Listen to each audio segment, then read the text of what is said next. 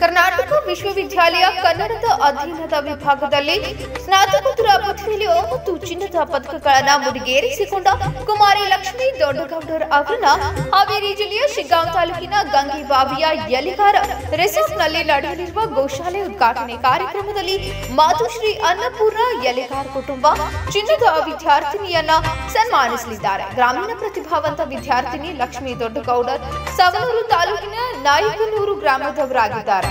ಶೈಕ್ಷಣಿಕ ರಂಗದಲ್ಲಿ ಸಾಧನೆ ಕೈದ ಈ ಸಾಧಕಿ ಮೂಲತಃ ರೈತಾಪಿ ಕುಟುಂಬದಿಂದ ಬಂದವರಾಗಿದ್ದು, ಇಂತಹ ಗ್ರಾಮೀಣ ಪ್ರತಿಭೆಗಳನ್ನು ಗುರುತಿಸಿ ಸನ್ಮಾನಿಸುತ್ತಿರುವ ಶಶಿಧರ್ ಯಲೆಗಾರ್ ಕುಟುಂಬ ಮಾಡುತ್ತಿರುವ ಕಾರ್ಯಕ್ಕೆ ಸಾರ್ವಜನಿಕ ವಲಯದಿಂದ ಭಾರಿ ಮೆಚ್ಚುಗೆ ವ್ಯಕ್ತವಾಗಿದೆ.